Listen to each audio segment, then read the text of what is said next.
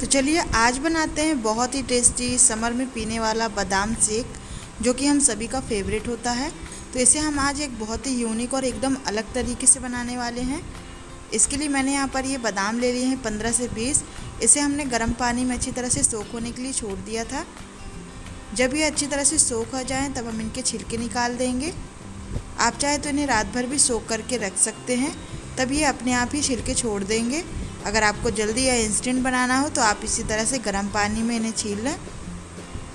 गर्म पानी में डालने से इनके छिलके सॉफ्ट हो जाते हैं और हमें इस तरह से इनको छील देना है, देखिए।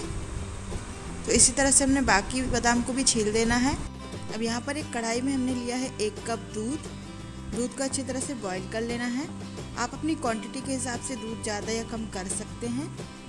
थोड़ा बहुत आप इसमें पानी भी डालना चाहें तो डाल सकते हैं। अब इसे अच्छी तरह से हम बॉईल कर लेंगे। दूध को उबालने के बाद ही हम इसमें आगे का प्रोसेस करेंगे।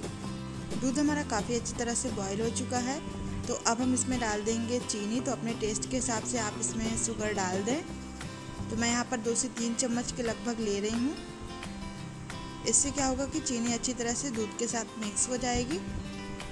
तो इसे भी हम अच्छी तरह से मिक्स कर लेंगे और एक बार इसे फिर से उबाल देंगे।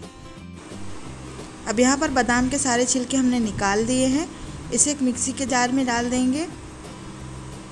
अब इसके साथ में हम डाल देंगे गरम किया हुआ दूध, जो भी हमने गरम किया है ना, वही दूध हम इस पर डाल देंगे एक से दो चम्मच। यहाँ पर हम ले रहे हैं कॉर्नफ्लावर, एक छोटी चम्मच, यानी एक घर की जो चम्मच होती है उस चम्मच से। आप चाहें तो यहाँ पर कस्टर्ड पाउडर का इस्तेमाल भी कर सकते हैं, इसी तरह से एक चम्मच। कलर देने के लिए हम इसमें बिल्कुल वन पिंच या दो पिंच के लगभग हल्दी डाल देंगे जिससे कि इसमें कलर आए। आप यहाँ पर केसर का इस्तेमाल भी कर सकते हैं। तो यहाँ पर बेसिक सी चीज़ों का हम इस्तेमाल कर रहे हैं जो घर में रखी हुई होती हैं। आप हल्दी और कॉर्नफ्लावर की जगह कस्टर्ड पाउडर का इस्तेमाल कर सकते हैं। तो देखिए हमारा मिक्सचर जो है वो एकदम रेडी हो चुका है।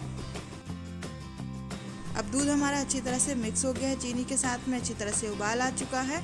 तो अब हमने जो ये मिक्सचर बनाकर रखा था, ये सारा ही हम इसमें डाल देंगे। तो मैंने सारा हिसाब से ही डाला था। आप चाहे तो कॉर्नफ्लावर बाद में भी ऐड कर सकते हैं। सिर्फ़ बादाम और दूध को ही पीस लें। ये देखिए, बहुत ही बढ़िया जैसे कि हम कस्टर्ड पाउडर डालकर इसका कलर लाते हैं ना, बिल्कुल उसी तरह से इसका कलर हो जाएगा। आप चाहें तो इसमें एसेंस वगैरह भी ऐड करना चाहें तो कर सकते हैं। ये दूध पीने में हेल्दी और बहुत ही टेस्टी लगता है।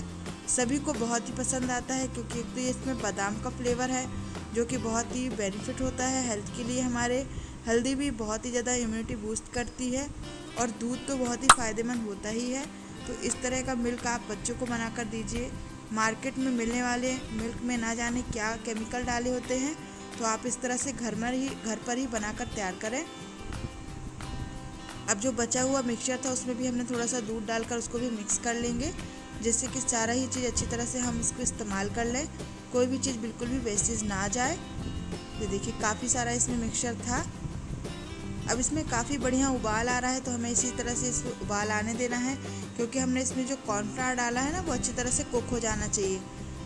जब ये अच्छी तरह से कुक हो जाता है, तब आप इसे ठंडा कर लें फ्रिज में रख दें और जब आपका मन करे तो आप इसे इंजॉय करें। सभी को बहुत पसंद आने वाला है। झटपट से बनकर तैयार हो जाता है ये। ये देखिए, बहुत ही बढ़िया उबाल आ चुका है।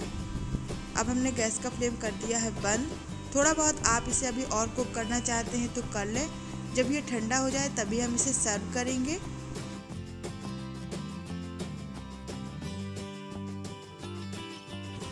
अब हमारा बादाम सेक बहुत ही अच्छी तरह से ठंडा हो गया है तो अब इसे आप ग्लास में डाल दें।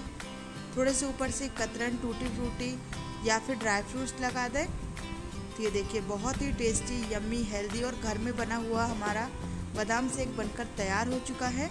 आई होप कि आपको मेरी आज की टेस्टी सी रेसिपी पसंद आई होगी। पसंद आई हो तो वीडियो को लाइक शेयर सब्सक्राइब करना ना भूलें। फ्रेंड्स और फैमिली में भी शेयर करें। मैं मिलती हूँ नेक्स्ट वीडियो में। Thank you thanks for watching bell icon press करना ना भूलें जिससे सारी नोटिफिकेशन आपको मेरी सबसे पहले मिले।